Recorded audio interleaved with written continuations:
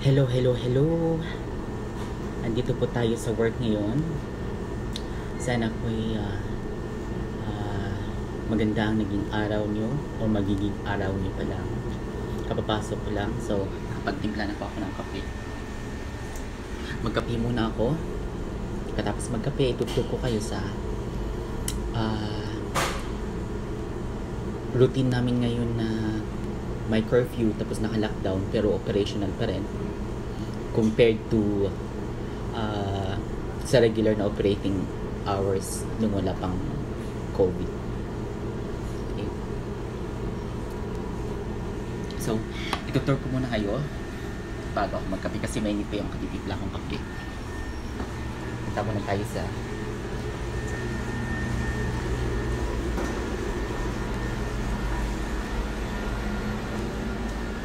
Andito po tayo ngayon sa back area.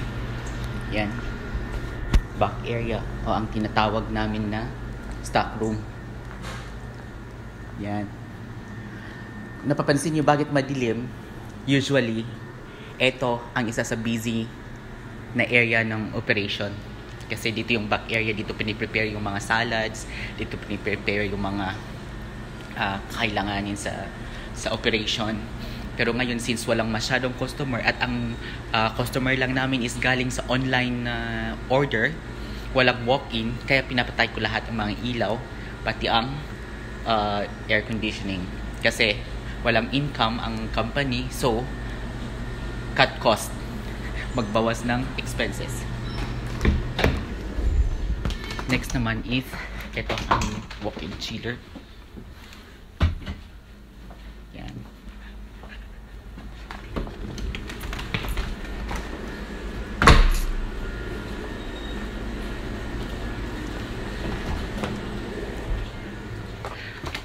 At ang aming walk-in freezer.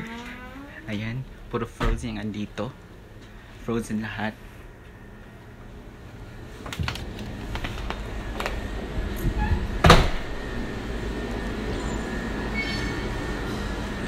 At ang pinaka maingay at pinaka busy part ng operation eto dyan dyan ang fryer station dyan nagluluto ng mga orders ito naman. Ang may table dito pinipipira mga orders. At ito yung broiler station. Ito. Dito pinigrill ang orders. Usually ang ingay dito pag regular days kasi ang sigawan ng mga crew sa, sa orders uh, fina-follow up yung mga orders ganyan may mga request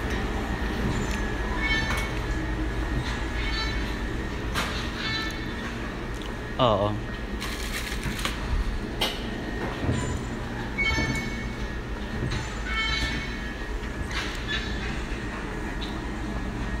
Yan.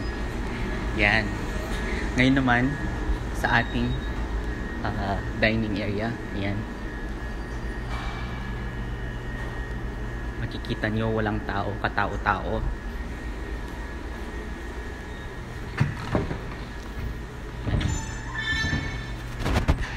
Yan. Kaya lahat ng tables nakataob dahil walang ang walk-in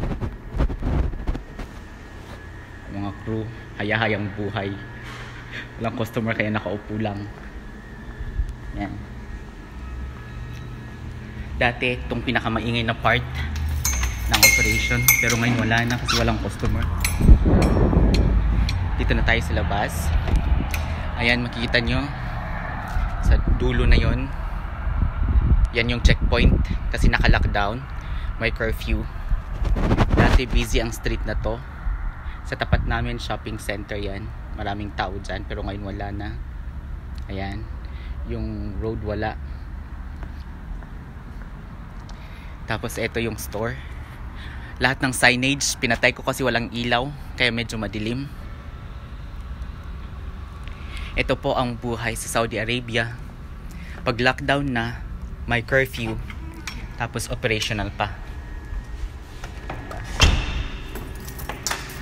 Kakaantok